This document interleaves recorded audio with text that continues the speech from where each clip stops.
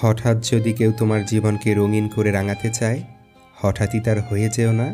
আগে খোঁজ নিয়ে দেখো, সে কারও জীবনের আলোর প্রদীপ নিভিয়েছে কি না ধীরে ধীরে সব ঠিক হয়ে যাবে। কথাটা আসলে ধীরে ধীরে সব সহ্য হয়ে যাবে বোঝায়।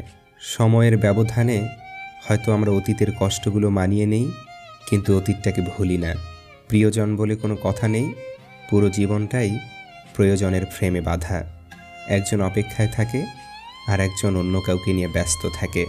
বাঘের চেয়েও মানুষকে ভয় পাই বেশি, কারণ মানুষ দুই রূপে থাকে, এক রূপ মুখে আর এক রূপ মুখোশে। নিজের কথা গোপন রাখার অর্থই হচ্ছে নিজেকে নিরাপদ রাখা। সময় খুব চালাক, যৌবনের লোভ দেখিয়ে শৈশব কেড়ে নেয়, আবার অর্থের লোভ দেখিয়ে যৌবন কেড়ে নেয়।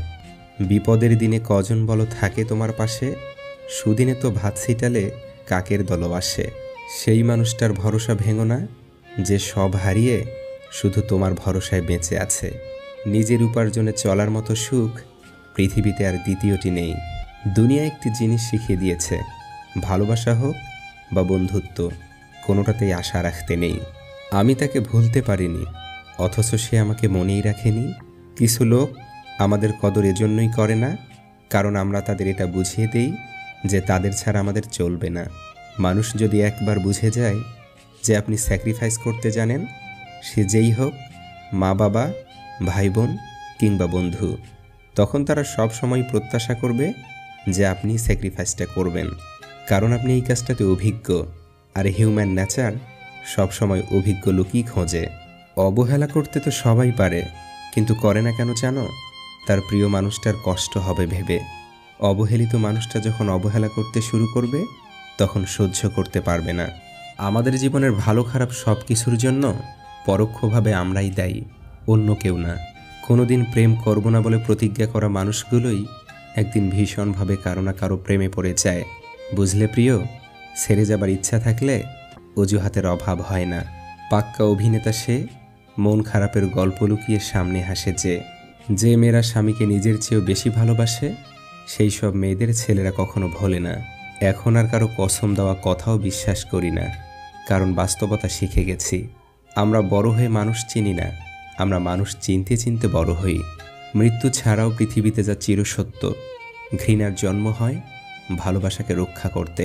পুরো পরিকল্পনা মাফিক কিছুই হয় না এই অভিশপ্ত পৃথিবীতে।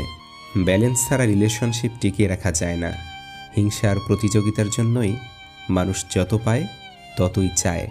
দুই জায়গায় স্ত্রীর কথায় কখনো রাজি হবেন না। নাম্বার এক, স্ত্রী যদি কখনো একা দূরে কোথাও পাড়ি জমাতে চায়, তাহলে কখনোই তাকে একা ছাড়বেন না। নাম্বার দুই, স্ত্রী অকারণে বাবার বাড়িতে ঘন ঘন যেতে চাইলে তা অতি শীঘ্রই বন্ধ করুন। এর কারণ বলে শেষ করা যাবে না। প্রেমের ভূত মাথায় চাপলে তোমার মন ভাঙবে, আর সফলতার ভূত তোমার মাথায় চাপলে তুমি রেকর্ড ভাঙবে। মানুষের জীবনে চাওয়ার কোনো শেষ নেই। নিজের সবটুকু উজাড় করে দিলেও তার কাছে কম মনে হবে। তাই কাউকে ততটাই দেওয়া উচিত যতটা পাওয়ার যোগ্যতা তার আছে। মানুষের সবচেয়ে বড় শত্রু তার মন। মন দুর্বল হলে মানুষ এগোতে ভয় পায়। আবার মনকে দৃঢ় করতে পারলেই জয়ী হয়। প্রিয় মানুষগুলোকে বেশি দিন নিজের কাছে রাখা যায় না। হয়তো তারা চলে যায়, নয়তো নিয়তি তাদের দূরে ঠেলে দেয়। মানুষের থেকে তার ছায়া বড় হলে সূর্য অস্ত যায়, মানুষের থেকে তার অহংকার বড় হলে মানুষ অস্ত যায়। প্রচণ্ড মন খারাপ হলে ফোন দিয়ে দু চার মিনিট কথা বলার মতো মানুষ যদি আপনার জীবনে না থাকে, তাহলে আপনি সত্যি অনেক দুঃখী মানুষ। ক্যারিয়ার ঠিক করার কথা না ভেবে, ক্যারেক্টার ঠিক রাখার জন্য বিয়ে করুন। বিয়ের সম্পর্ক ক্যারিয়ারের সাথে না, ক্যারেক্টারের সাথে। কারণ ক্যারেক্টার একদিন ঠিক করা যাবে, কিন্তু যৌবন চলে গেলে আর ফিরে পাওয়া যাবে না। ভালোবাসা হলো এমন একটি মায়া, তুমি যত দূরে যাবে, ততই কাছে টানবে। যত ভুলে যাবে ততই মনে পড়বে, আর যতটুকু হাসবে, তার থেকে বেশি কাঁদবে। আমার প্রতি তোমার অভিযোগের পাল্লা এতটাই ভারী হয়েছিল যে উঠে দাঁড়ানোর আগেই অতলে তলিয়ে গেছি। চুপ থাকার সবচেয়ে বড় সুবিধা হলো, উত্তরটা আপনার হয়ে কেউ না কেউ দিয়েই দেবে, হয় মানুষ, নয়তো সময়। আমি সব বুঝি, কিন্তু উচিত সময়ে উচিত কথাটা মুখের উপর বলে দিতে পারি না। পান্তা ভাতের প্রশংসা সবাই করে, কিন্তু পছন্দ করে বিরিয়ানি। তেমনি কালো ছেলেমেয়েদের প্রশংসা সবাই করে? বাস্তবে পছন্দ করে সাদা চামড়া। এই একটি জিনিসের জন্য সম্পর্কে বিচ্ছেদ হয়। সেটা হলো রাগের সময় কেউ কারও কথা না শোনা। পরিবর্তন প্রতিশোধের চেয়েও মূল্যবান।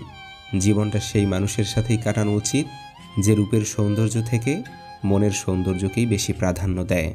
এখন কেউ খারাপ কিছু বললে কিছু মনে করি না। আসলে যে যেমন মানুষ, সে অন্যকে তেমনই ভাববে। শান্তিতে ঘুমানো আর সুখে জীবন কাটানোর প্রধান সিঁড়ি হচ্ছে সৎকর্ম।